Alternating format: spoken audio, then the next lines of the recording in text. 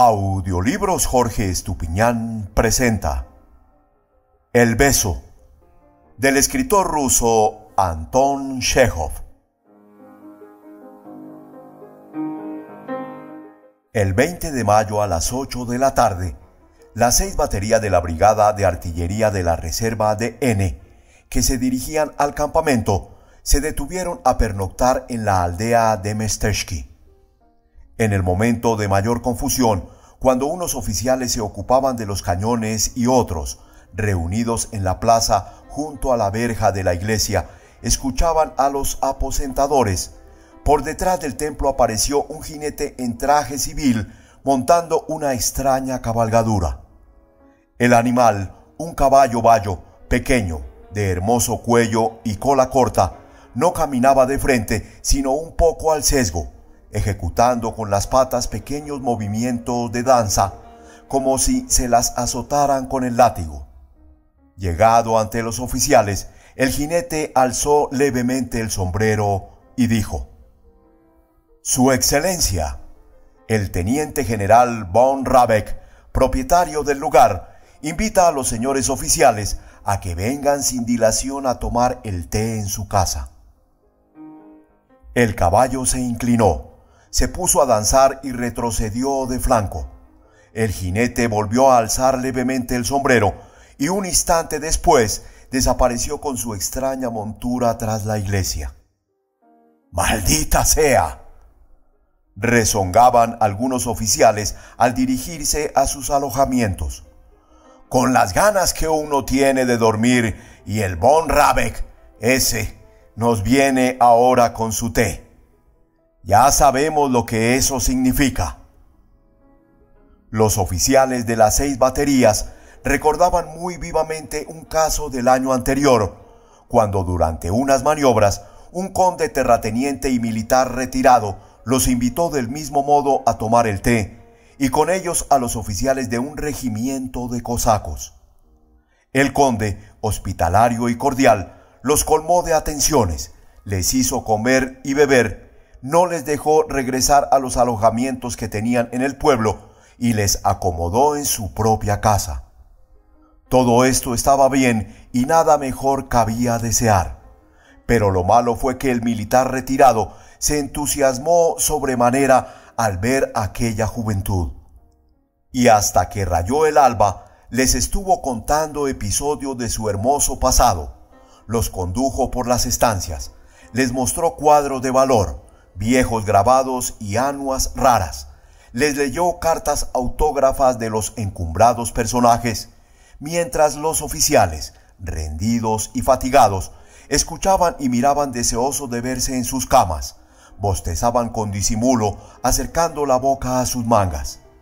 Y cuando, por fin, el dueño de la casa los dejó libres, era ya demasiado tarde para irse a dormir. ¿No sería también de ese estilo el tal Von Rabeck? Lo fuese o no, nada podían hacer. Los oficiales se cambiaron de ropa, se cepillaron y marcharon en grupo a buscar la casa del terrateniente. En la plaza, cerca de la iglesia, les dijeron que a la casa de los señores podía irse por abajo. Detrás de la iglesia se descendía al río. Se seguía luego por la orilla hasta el jardín donde las avenidas conducían hasta el lugar, o bien se podía ir por arriba, siguiendo desde la iglesia directamente el camino que a media versta del poblado pasaba por los graneros del Señor.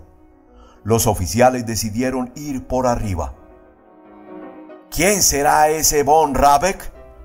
comentaban por el camino.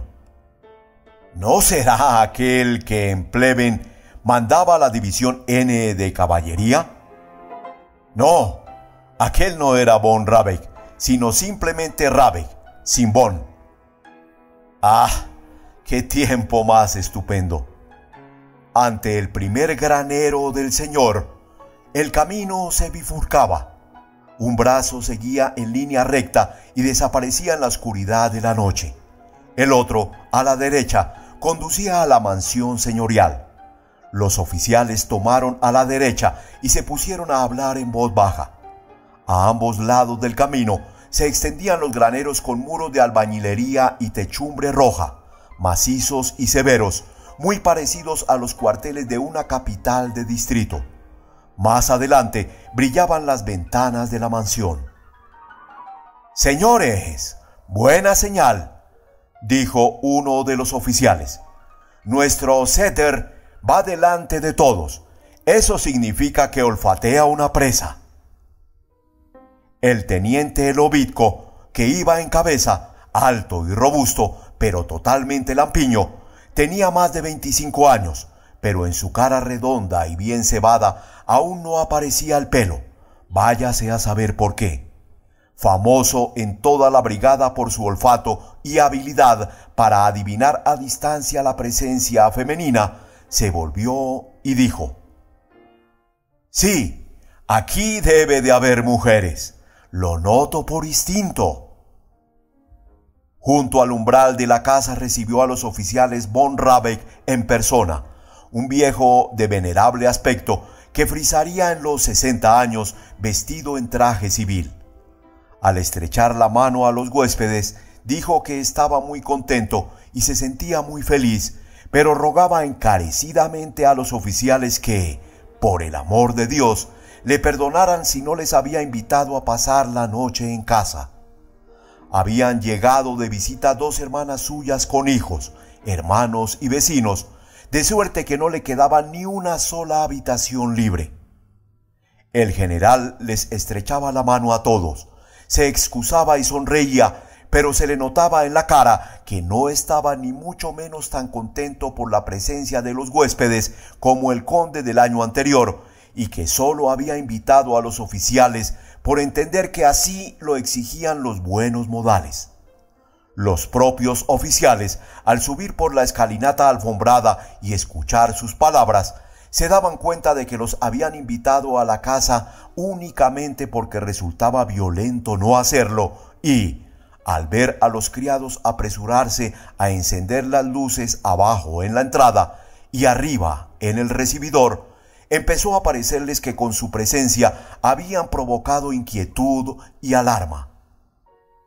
Podía ser grata la presencia de 19 oficiales desconocidos allí donde se habían reunido dos hermanas con sus hijos, hermanos y vecinos, sin duda con motivo de alguna fiesta o algún acontecimiento familiar? Arriba, a la entrada de la sala, acogió a los huéspedes una vieja alta y erguida, de rostro ovalado y cejas negras, muy parecida a la emperatriz Eugenia. Con sonrisa amable y majestuosa, decía sentirse contenta y feliz de ver en su casa a aquellos huéspedes y se excusaba de no poder invitar esta vez a los señores oficiales a pasar la noche en la casa. Por su bella y majestuosa sonrisa, que se desvanecía al instante de su rostro cada vez que por alguna razón se volvía hacia otro lado, resultaba evidente que en su vida había visto muchos señores oficiales, que en aquel momento no estaba pendiente de ellos y que, si los había invitado y se disculpaba, era solo porque así lo exigía su educación y su posición social. En el gran comedor donde entraron los oficiales, una decena de varones y damas, unos entrados en años y jóvenes otros, estaban tomando el té en el extremo de una larga mesa. Detrás de sus sillas, envuelto en un leve humo de cigarrillos, se percibía un grupo de hombres. En medio del grupo había un joven delgado, de patillas pelirrojas que, tartajeando, hablaba en inglés en voz alta. Más allá del grupo se veía una estancia iluminada con mobiliario azul. Señores, son ustedes tantos que no es posible hacer su presentación, dijo en voz alta el general, esforzándose por parecer muy alegre. Traben conocimiento ustedes mismos, señores, sin ceremonias. Los oficiales, unos con el rostro muy serio y hasta severo, otros con sonrisa forzada y todos sintiéndose en una situación muy embarazosa, saludaron bien que mal, inclinándose y se sentaron a tomar el té. quien más desazonado se sentía era el capitán ayudante Riabovich, oficial de pequeña estatura y algo encorvado, con gafas y unas patillas como las de un lince. Mientras algunos de sus camaradas ponían cara seria y otros afectaban una sonrisa, su cara, sus patillas de lince y sus gafas parecían decir, Yo soy el oficial más tímido, el más modesto y el más gris de toda la brigada. En los primeros momentos, al entrar en la sala y luego sentado a la mesa ante su té, no lograba fijar la atención en ningún rostro ni objeto.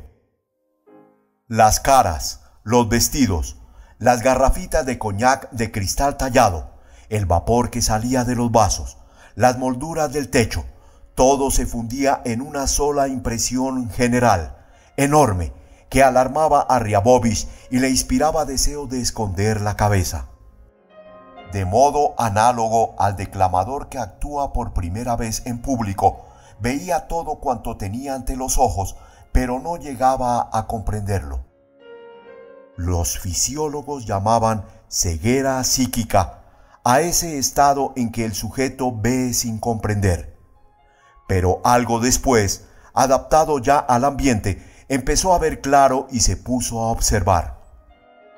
Siendo persona tímida y poco sociable, lo primero que le saltó a la vista fue algo que él nunca había poseído, a saber, la extraordinaria intrepidez de sus nuevos conocidos. Von Rabeck, su mujer, dos damas de edad madura, una señorita con un vestido color lila y el joven de patillas pelirrojas, que resultó ser el hijo menor de von Rabeck, tomaron con gesto muy hábil, como si lo hubieran ensayado de antemano, asiento entre los oficiales y entablaron una calurosa discusión en la que no podían dejar de participar los huéspedes. La señorita de Lila se puso a demostrar con ardor que los artilleros estaban mucho mejor que los de caballería y de infantería, mientras que von Rabeck y las damas entradas en años sostenían lo contrario. Empezaron a cruzarse las réplicas. Riabovich observaba a la señorita Lila, que discutía con gran vehemencia cosas que le eran extrañas y no le interesaban en absoluto, y advertía que en su rostro aparecían y desaparecían sonrisas afectadas. Von Rabeck y su familia hacían participar con gran arte a los oficiales en el debate, pero al mismo tiempo estaban pendientes de vasos y bocas, de si todos bebían, si todos tenían azúcar y por qué alguno de los presentes no comía bizcocho o no tomaba coñac.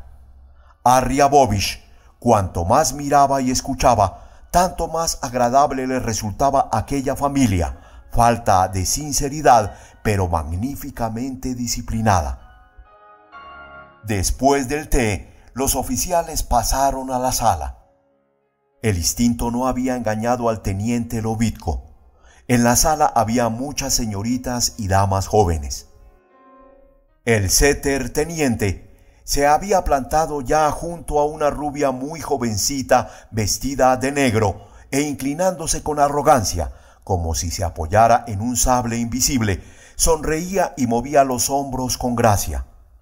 Probablemente contaba alguna tontería muy interesante, porque la rubia miraba con aire condescendiente el rostro bien cebado y le preguntaba con indiferencia, ¿De veras?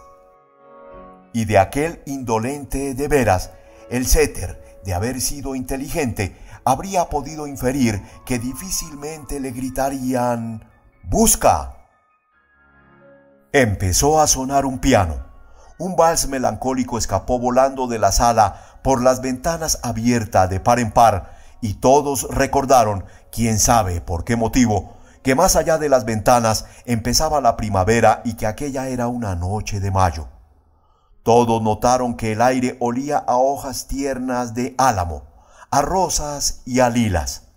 Riabovich, en quien, bajo el influjo de la música, empezó a dejarse sentir el coñac que había tomado, miró con el rabillo del ojo la ventana, sonrió y se puso a observar los movimientos de las mujeres, hasta que llegó a parecerle que el aroma de las rosas, de los álamos y de las lilas no procedían del jardín, sino de las caras y de los vestidos femeninos. El hijo de Von Rabeck invitó a una sencilla jovencita y dio con ella dos vueltas a la sala. Lobitko, deslizándose por el parque, voló hacia la señorita de Lila y se lanzó con ella a la pista. El baile había comenzado. Riabovich estaba de pie cerca de la puerta, entre los que no bailaban y observaba. En toda su vida no había bailado ni una sola vez, y ni una sola vez había estrechado el talle de una mujer honesta. Le gustaba enormemente ver cómo un hombre, a la vista de todos, tomaba a una doncella desconocida por el talle y le ofrecía el hombro para que ella colocara su mano, pero de ningún modo podía imaginarse a sí mismo en la situación de tal hombre.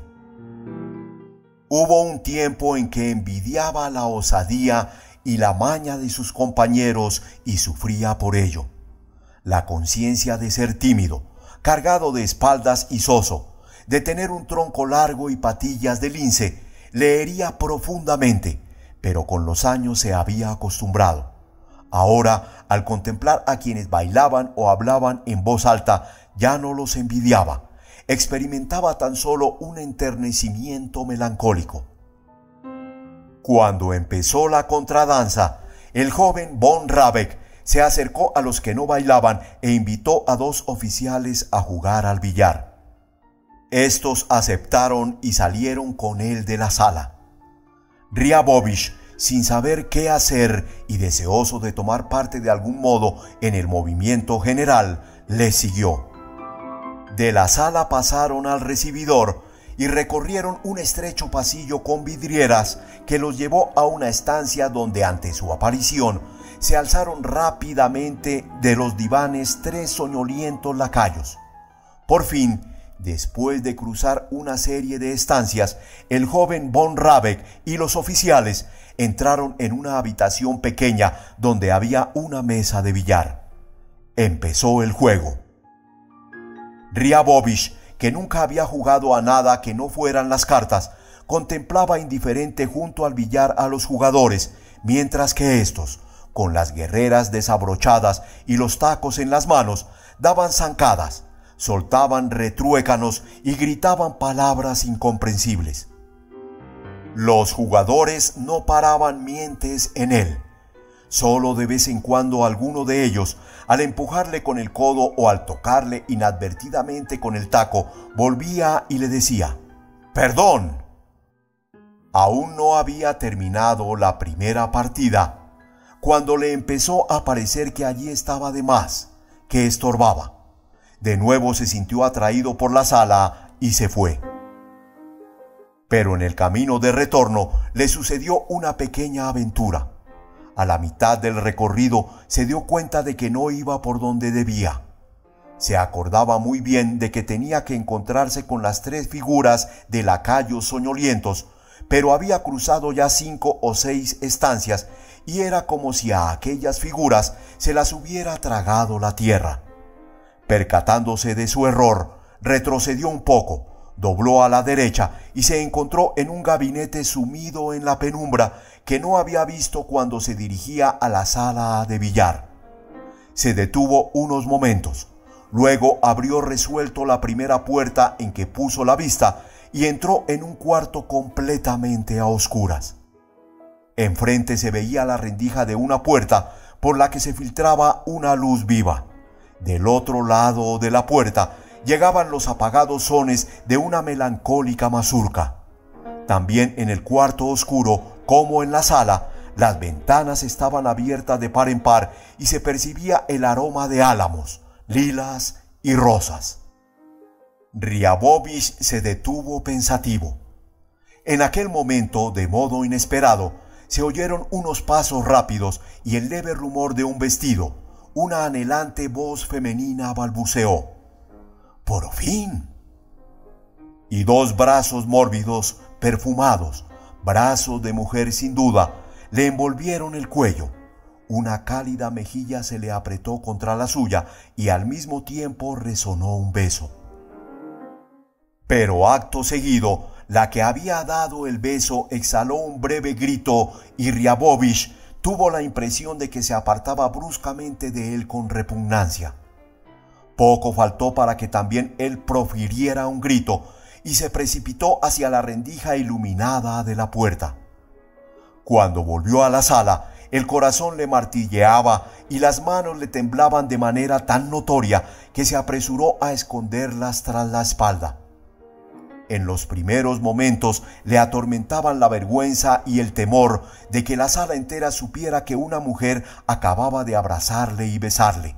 Se retraía y miraba inquieto a su alrededor, pero al convencerse de que allí seguían bailando y charlando tan tranquilamente como antes, se entregó por entero a una sensación nueva que hasta entonces no había experimentado ni una sola vez en la vida. Le estaba sucediendo algo raro. El cuello, unos momentos antes envuelto por unos brazos mórbidos y perfumados, le parecía untado de aceite.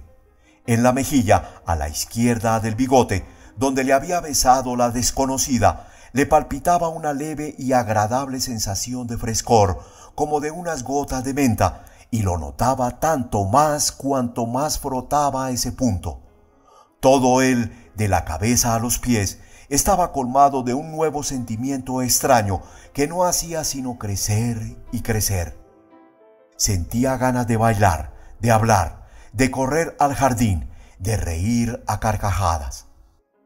Se olvidó por completo de que era encorvado y gris, de que tenía patillas de lince y un aspecto indefinido. Así le calificaron una vez en una conversación de señoras que él oyó por azar.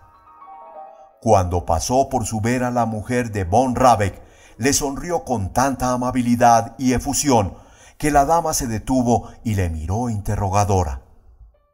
Su casa me gusta enormemente, dijo Riabovich ajustándose las gafas. La generala sonrió y le contó que aquella casa había pertenecido ya a su padre. Después le preguntó si vivían sus padres, si llevaba en la milicia mucho tiempo, por qué estaba tan delgado y otras cosas por el estilo. Contestadas sus preguntas, siguió ella su camino, pero después de aquella conversación, Riabovich comenzó a sonreír aún con más cordialidad y a pensar que le rodeaban unas personas magníficas. Durante la cena, Riabovich comió maquinalmente todo cuanto le sirvieron.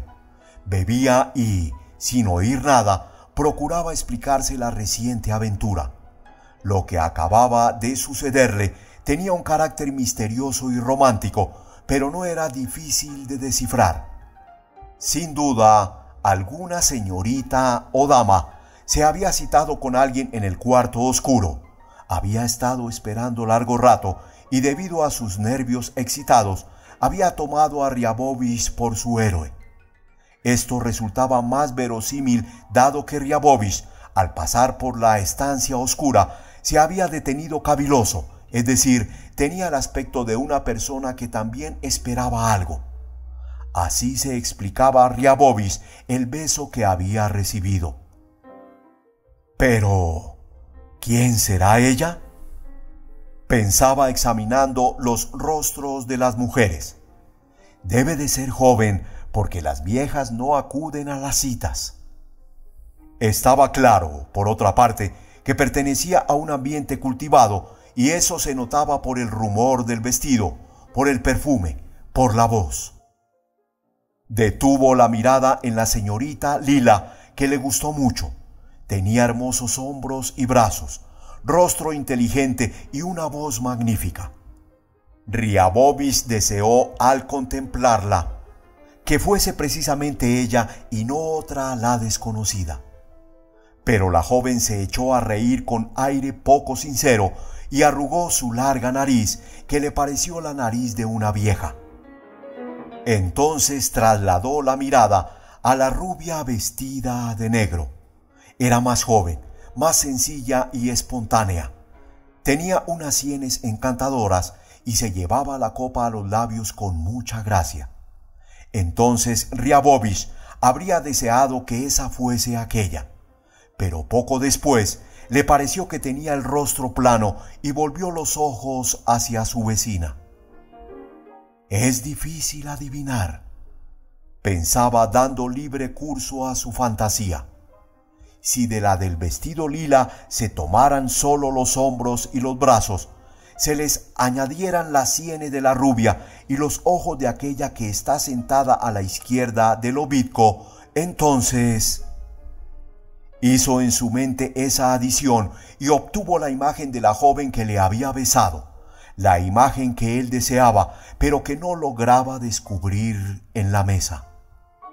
Terminada la cena, los huéspedes, ahitos y algo achispados, empezaron a despedirse y a dar las gracias. Los anfitriones volvieron a disculparse por no poder ofrecerles alojamiento en la casa. Estoy muy contento, muchísimo, señores, decía el general, y esta vez era sincero, probablemente porque al despedir a los huéspedes, la gente suele ser bastante más sincera y benévola que al darles la bienvenida. Estoy muy contento. Quedan invitados para cuando estén de regreso, sin cumplidos, pero ¿por dónde van? ¿Quieren pasar por arriba? No, vayan por el jardín, por abajo el camino es más corto. Los oficiales se dirigieron al jardín. Después de la brillante luz y del escándalo, pareció muy oscuro y silencioso. Caminaron sin decir palabra hasta la portezuela. Estaban algo bebidos, alegres y contentos, pero las tinieblas y el silencio les movieron a reflexionar por unos momentos. Probablemente a cada uno de ellos, como a Riabovich, se le ocurrió pensar en lo mismo. Llegaría también para ellos el día en que alguna vez, como Rabeck, tendrían una casa grande, una familia, un jardín y la posibilidad, aunque fuera con poca sinceridad, de tratar bien a las personas, de dejarlas ahitas, achispadas y contentas? Salvada la portezuela, se pusieron a hablar todos a la vez y a reír estrepitosamente sin causa alguna. Andaban ya por un sendero que descendía hacia el río y corría luego junto al agua misma, rodeando los arbustos de la orilla, los reollos y los sauces que colgaban sobre la corriente. La orilla y el sendero apenas se distinguían y la orilla opuesta se hallaba totalmente sumida en las tinieblas. Acá y allá las estrellas se reflejaban en el agua oscura, tremolaban y se distendían, y sólo por esto se podía adivinar que el río fluía con rapidez. El aire estaba en calma. En la otra orilla gemían los chorlitos soñolientos y en esta un ruiseñor, sin prestar atención alguna al tropel de oficiales, desgranaba sus agudos trinos en un arbusto. Los oficiales se detuvieron junto al arbusto, lo sacudieron, pero el ruiseñor siguió cantando. ¿Qué te parece? Se oyeron unas exclamaciones de aprobación nosotros aquí a su lado y él sin hacer caso. Valiente granuja. Al final, el sendero ascendía y desembocaba cerca de la verja de la iglesia. Allí los oficiales, cansados por la subida, se sentaron y se pusieron a fumar.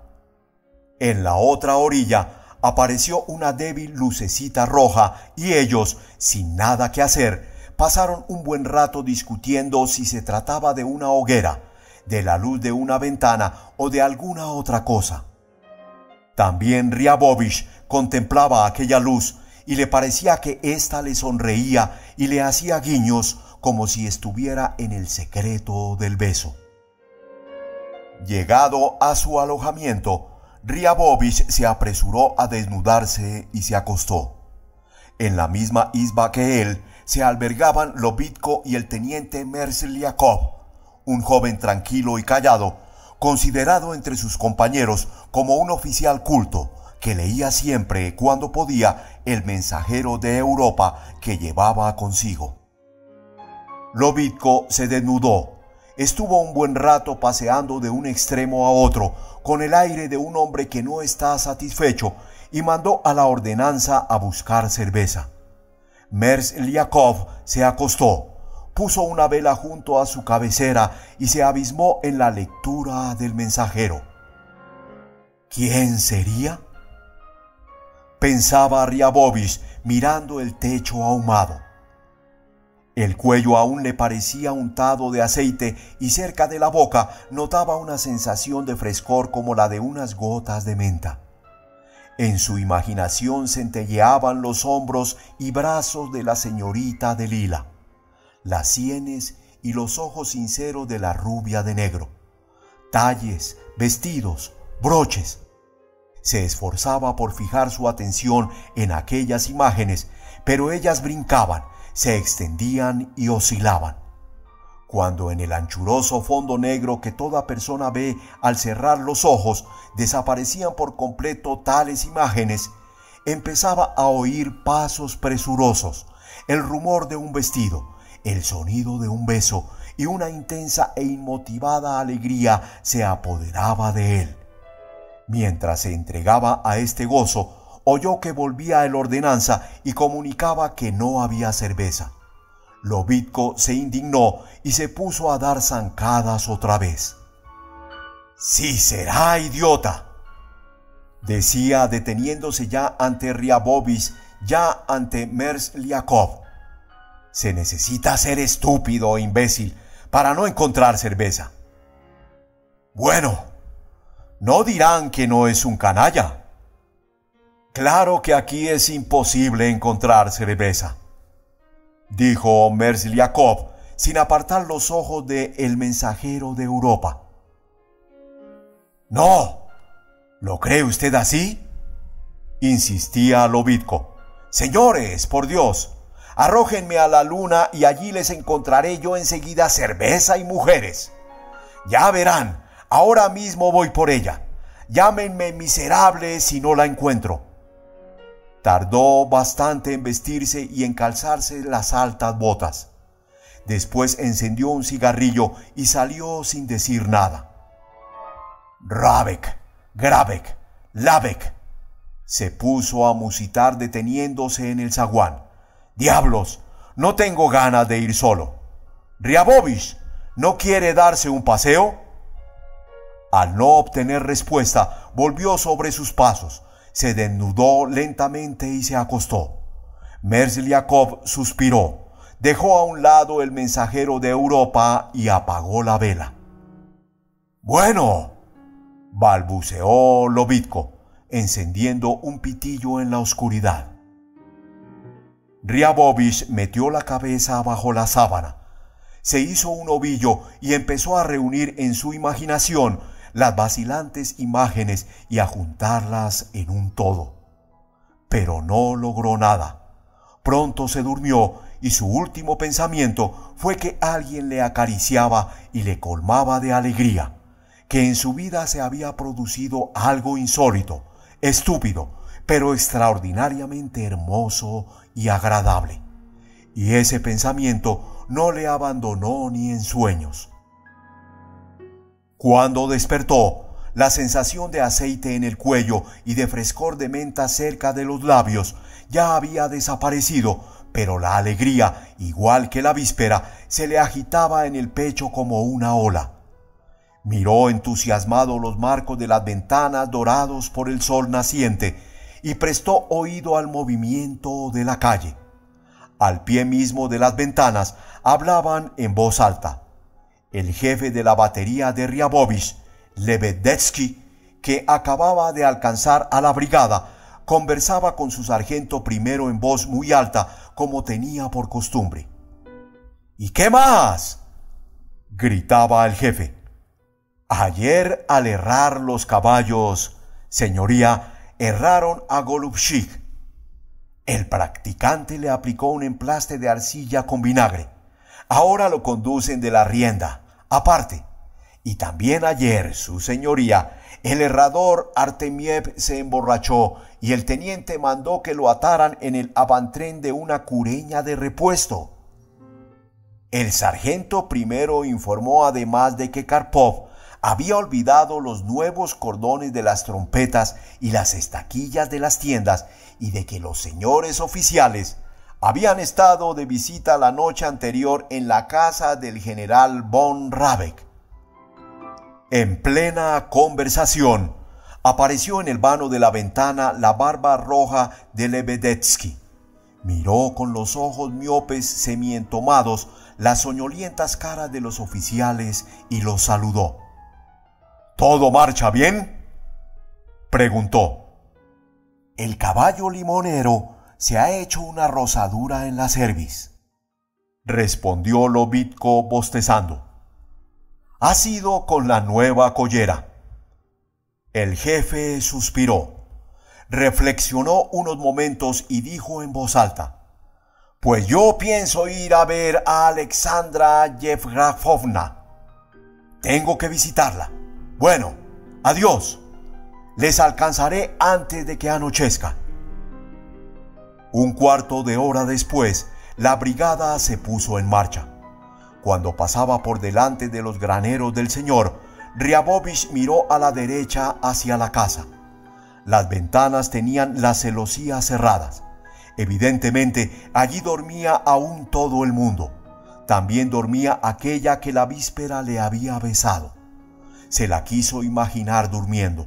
La ventana de la alcoba abierta de par en par, las ramas verdes mirando por aquella ventana, la frescura matinal, el aroma de álamos, de lilas y de rosas, la cama, la silla y en ella el vestido que el día anterior rumoreaba, las zapatillas, el pequeño reloj en la mesita, todo se lo representaba él con claridad y precisión, pero los rasgos de la cara, la linda sonrisa soñolienta, precisamente aquello que era importante y característico, le resbalaba en la imaginación como el mercurio entre los dedos.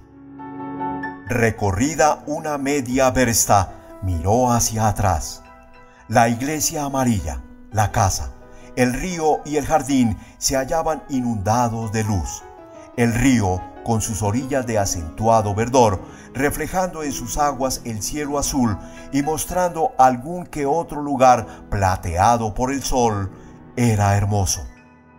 Riabovich lanzó una última mirada a Mestesky y experimentó una profunda tristeza, como si se separara de algo muy íntimo y entrañable. En cambio, en la ruta solo aparecían ante los ojos cuadros sin ningún interés, conocidos desde hacía mucho tiempo. A la derecha y a izquierda, campos de centeno joven y de alforfón, por los que saltaban los grajos. Miras hacia adelante y solo ves polvo y nucas. Miras hacia atrás y ves el mismo polvo y caras. Delante marchan cuatro hombres armados con sables. Forman la vanguardia. Tras ellos va el grupo de cantores, a los que siguen los trompetas que montan a caballo. La vanguardia y los cantores, como los empleados de las pompas fúnebres que llevan antorchas en los entierros, olvidan a cada momento la distancia que estipula el reglamento y se adelantan demasiado. Riabovich se encuentra en la primera pieza de la quinta batería. Ve las cuatro baterías que le preceden. A una persona que no sea militar, la fila larga y pesada que forma una brigada en marcha le parece un baturrillo enigmático, poco comprensible. No entiende por qué alrededor de un solo cañón van tantos hombres, ni por qué lo arrastran tantos caballos guarnecidos con un extraño atelaje como si la pieza fuera realmente terrible y pesada. En cambio, para Riabovich, todo es comprensible y por ello carece del menor interés. Sabe hace ya tiempo por qué al frente de cada batería cabalga junto al oficial un vigoroso suboficial y por qué se llama delantero. A la espalda de este suboficial se ve al conductor del primer par de caballos y luego al del par central. Riabovich sabe que los caballos de la izquierda en los que los conductores montan se llaman de ensillar y los de la derecha se llaman de refuerzo. Eso no tiene ningún interés. Detrás del conductor van dos caballos limoneros. Uno de ellos lo cabalga un jinete con el polvo de la última jornada en la espalda y con un madero tosco y ridículo sobre la pierna derecha. Riabovich sabe para qué sirve ese madero y no le parece ridículo. Todos los que montan a caballo agitan maquinalmente los látigos y de vez en cuando gritan. El cañón por sí mismo es feo. En el avantren van los sacos de avena, cubiertos con una lona impermeabilizada, y del cañón propiamente dicho cuelgan teteras, macutos de soldado y saquitos. Todo eso le da un aspecto de pequeño animal inofensivo al que, no se sabe por qué razón, rodean hombres y caballos. A su flanco, por la parte resguardada del viento, marchan balanceando los brazos seis servidores. Detrás de la pieza se encuentran otra vez nuevos artilleros, conductores, caballos limoneros, tras los cuales se arrastra un nuevo cañón tan feo y tan poco imponente como el primero. Al segundo le siguen el tercero y el cuarto. Junto a este va un oficial y así sucesivamente. La brigada consta en total de seis baterías y cada batería tiene cuatro cañones. La columna se extiende una media versta. Se cierra con un convoy a cuya vera, bajando su cabeza de largas orejas, marcha cavilosa una figura en sumo grado simpática. El asno Magar, traído de Turquía por uno de los jefes de batería. Riabovich miraba indiferente adelante y atrás, a las nucas y a las caras.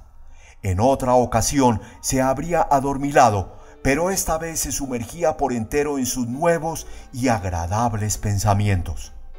Al principio, cuando la brigada acababa de ponerse en marcha, quiso persuadirse de que la historia del beso solo podía tener el interés de una aventura pequeña y misteriosa, pero que en realidad era insignificante y que pensar en ella seriamente resultaba por lo menos estúpido.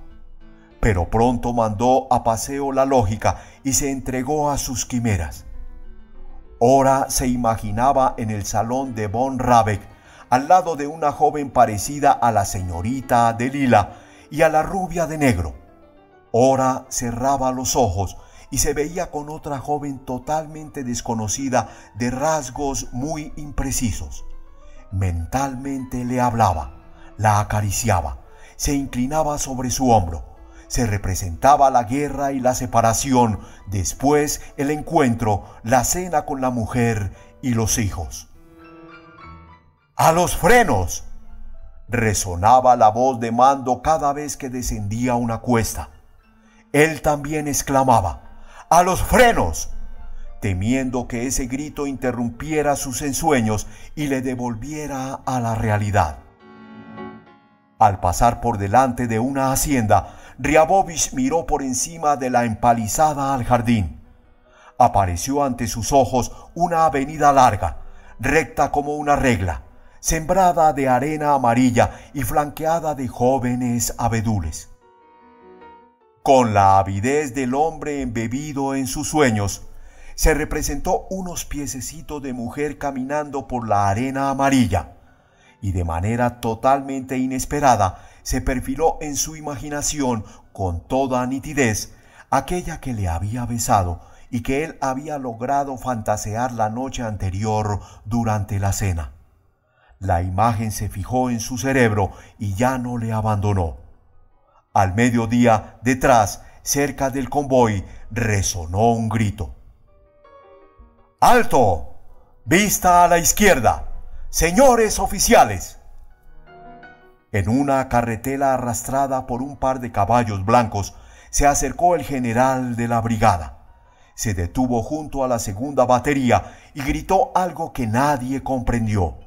Varios oficiales, entre ellos Riabovich, se le acercaron al galope. ¿Qué tal? ¿Cómo vamos? preguntó el general, entornando los ojos enrojecidos. ¿Hay enfermos? Obtenidas las respuestas, el general, pequeño y enteco, reflexionó y dijo, volviéndose hacia uno de los oficiales. El conductor del limonero de su tercer cañón se ha quitado la rodillera y el bribón la ha colgado en el avantren. ¡Castíguelo! Alzó los ojos hacia Riabovis y prosiguió. Me parece que usted ha dejado los tirantes demasiado largos. Hizo aún algunas aburridas observaciones. Miró a Lobitko y se sonrió. Y usted, teniente Lobitko, tiene un aire muy triste. Dijo, ¿siente nostalgia por Lopujova? Señores, echa de menos a Lopujova. Lopujova era una dama muy entrada en carnes y muy alta, que había rebasado hacía ya tiempo los cuarenta. El general, que tenía una debilidad por las féminas de grandes proporciones, cualquiera que fuese su edad, sospechaba la misma debilidad en sus oficiales. Ellos sonrieron respetuosamente. El general de la brigada, contento por haber dicho algo divertido y venenoso, rió estrepitosamente, tocó la espalda de su cochero y se llevó la mano a la visera. El coche reemprendió la marcha. Todo eso que ahora sueño y que me parece imposible y celestial es en realidad muy común. Pensaba Riabovich mirando las nubes de polvo que corrían tras la carretera del general. Es muy corriente y le sucede a todo el mundo. Por ejemplo, este general en su tiempo amó, ahora está casado y tiene hijos. El capitán Bachter también está casado y es querido, aunque tiene una feísima nuca roja y carece de cintura.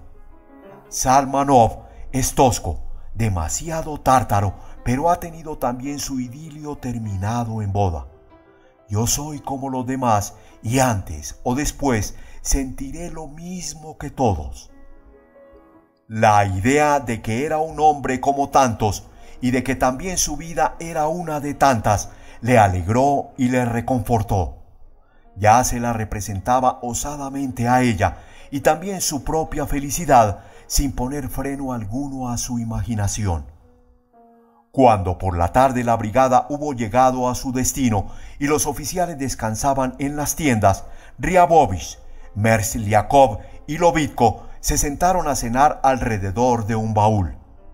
Mersliakov comía sin apresurarse, masticaba despacio y leía El mensajero de Europa, que sostenía sobre las rodillas.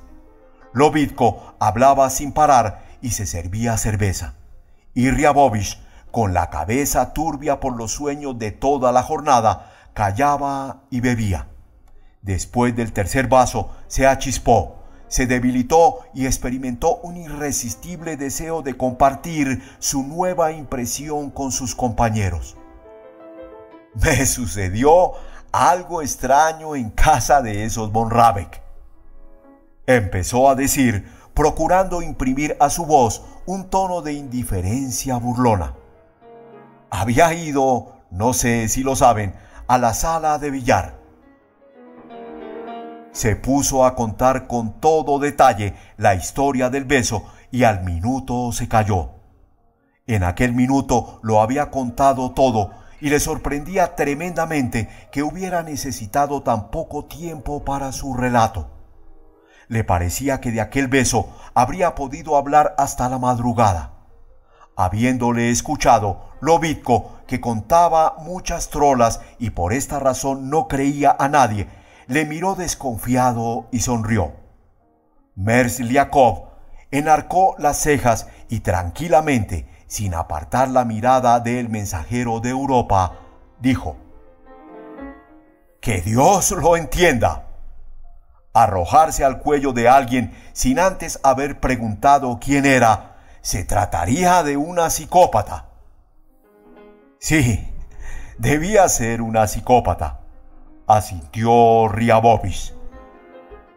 Una vez me ocurrió a mí un caso análogo, dijo Lobitko, poniendo los ojos de susto. Iba el año pasado a Kovno. Tomé un billete de segunda clase. El vagón estaba de bote en bote y no había manera de dormir. Di medio rublo al revisor.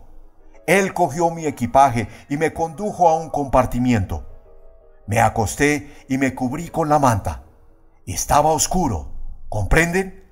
De súbito noté que alguien me ponía la mano en el hombro y respiraba ante mi cara. Abrí los ojos y figúrense, era una mujer. Los ojos negros, los labios rojos como carne de salmón, las aletas de la nariz latiendo de pasión y frenesí, los senos unos amortiguadores de tren. Permítame, le interrumpió tranquilamente Mersliakov. Lo de los senos se comprende, pero ¿cómo podía usted ver los labios si estaba oscuro? Lobitko empezó a salirse por la tangente y a burlarse de la poca perspicacia de Mersliakov.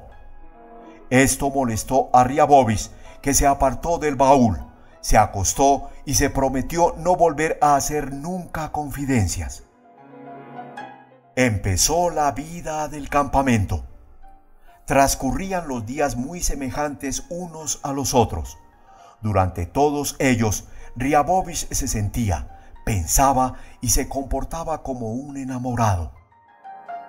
Cada mañana, cuando el ordenanza le ayudaba a levantarse, al echarse agua fría a la cabeza, se acordaba de que había en su vida algo bueno y afectuoso.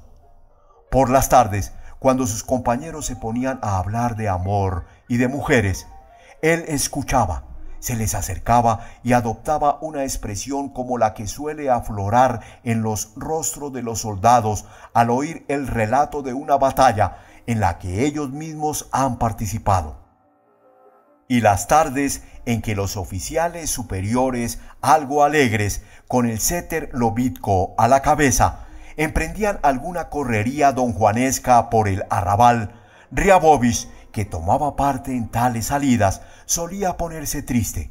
Se sentía profundamente culpable y mentalmente le pedía a ella perdón.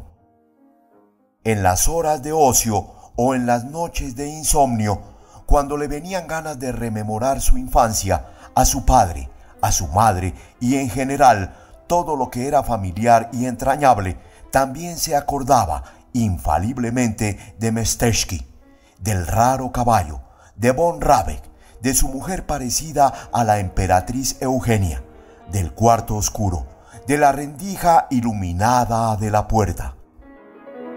El 31 de agosto regresaba del campamento pero ya no con su brigada, sino con dos baterías. Durante todo el camino soñó y se impacientó como si volviera a su lugar natal. Deseaba con toda el alma ver de nuevo el caballo extraño, la iglesia, la insincera familia von Rabeck y el cuarto oscuro. La voz interior que con tanta frecuencia engaña a los enamorados le susurraba, quién sabe por qué, que la vería sin falta. Unos interrogantes le torturaban. ¿Cómo se encontraría con ella? ¿De qué le hablaría? ¿No habría olvidado ella el beso? En el peor de los casos, pensaba, aunque no se encontraran, para él ya resultaría agradable el mero hecho de pasar por el cuarto oscuro y recordar. Hacia la tarde, se divisaron en el horizonte la conocida iglesia y los blancos graneros. A Riabovich empezó a palpitarle el corazón. No escuchaba al oficial que cabalgaba a su lado y le decía alguna cosa. Se olvidó de todo contemplando con avidez el río que brillaba en lontananza, la techumbre de la casa, el palomar encima del cual revoloteaban las palomas iluminadas por el sol poniente. Se acercaron a la iglesia y luego, al escuchar al aposentador, esperaba a cada instante que por detrás del templo apareciera el jinete e invitara a los oficiales a tomar el té. Pero el informe de los aposentadores tocó a su fin. Los oficiales bajaron de sus cabalgaduras y se dispersaron por el pueblo y el jinete no comparecía. Ahora Von Rabeck se enterará de nuestra llegada por los musiks y mandará a por nosotros. Pensaba Riabobis al entrar en una isba sin comprender por qué su compañero encendía una vela ni por qué los ordenanzas se apresuraban a preparar los samovares. Una penosa inquietud se apoderó de él. Se acostó, después se levantó y miró por la ventana si llegaba el jinete. Pero no había jinete. Volvió a acostarse. Media hora más tarde se levantó y, sin poder dominar su inquietud, salió a la calle y dirigió sus pasos hacia la iglesia. La plaza, cerca de la verja, estaba oscura y desierta. Tres soldados se habían detenido juntos y callados al mismísimo borde del sendero. Al ver a Riabovich, salieron de su ensimismamiento y le saludaron. Él se llevó la mano a la visera y empezó a bajar por el conocido sendero. Por encima de la otra orilla, el cielo se había teñido de un color purpúreo. Salía la luna. Dos campesinas, charlando en voz alta, andaban por un huerto arrancando hojas de col. Tras los huertos negreaban algunas isbas. Y en la orilla de este lado todo era igual que en mayo. El sendero, los arbustos, los sauces inclinados sobre el agua. Solo no se oía al valiente ruiseñor, ni se notaba olor a álamo y a hierba tierna. Ante el jardín, Riabobis miró por la portezuela. El jardín estaba oscuro y silencioso. Solo se distinguían los troncos blancos de los abedules próximos y un pequeño tramo de la avenida. Todo lo demás se confundía en una masa negra. Riabobis aguzaba el oído y miraba ávidamente, pero tras haber permanecido allí alrededor de un cuarto de hora sin oír ni un ruido y sin haber visto una luz, volvió sobre sus pasos. Se acercó al río. Ante él se destacaban la caseta de baño del general y unas sábanas colgadas en las barandillas del puentecillo. Subió al pequeño puente, se detuvo un poco, tocó sin necesidad una de las sábanas que encontró áspera y fría. Miró hacia abajo, al agua. El río se deslizaba rápido y apenas se le oía rumorear junto a los pilotes de la caseta. La luna roja se reflejaba cerca de la orilla. Pequeñas ondas corrían por su reflejo alargándola, despedazándola, como si quisieran llevársela. ¡Qué estúpido! ¡Qué estúpido! Pensaba Riabobis contemplando la corriente. ¡Qué poco inteligente es todo esto! Ahora que ya no esperaba nada, la historia del beso, su impaciencia, sus vagas esperanzas y su desencanto se le aparecían con vivida luz. Ya no le parecía extraño que no se hubiera presentado el jinete enviado por el general, ni no ver nunca a aquella que casualmente le había besado a él en lugar de otro. Al contrario, lo raro sería que la viera. El agua corría no se sabía hacia dónde ni para qué. Del mismo modo corría en mayo. El riachuelo, en el mes de mayo, había desembocado en un río caudaloso y el río en el mar. Después se había evaporado, se había convertido en lluvia y quién sabe si aquella misma agua no era la que en este momento corría otra vez ante los ojos de Riabovich. ¿A santo de qué? ¿Para qué? Y el mundo entero la vida toda, le parecieron a Riabovich una broma incomprensible y sin objeto. Apartando luego la vista del agua y tras haber elevado los ojos al cielo, recordó otra vez cómo el destino en la persona de aquella mujer desconocida le había acariciado por azar. Se acordó de sus ensueños y visiones estivales, y su vida le pareció extraordinariamente aburrida, mísera y gris. Cuando regresó a su isba, no encontró en ella a ninguno de sus compañeros. El ordenanza le informó de que todos se habían ido a casa del general von Triapkin, que había mandado a un jinete a invitarlos. Por un instante, el gozo estalló en el pecho de Ryabovich. Pero él se apresuró a apagar aquella llama, se acostó y para contrariar a su destino, como si deseara abejarle, no fue a casa del general.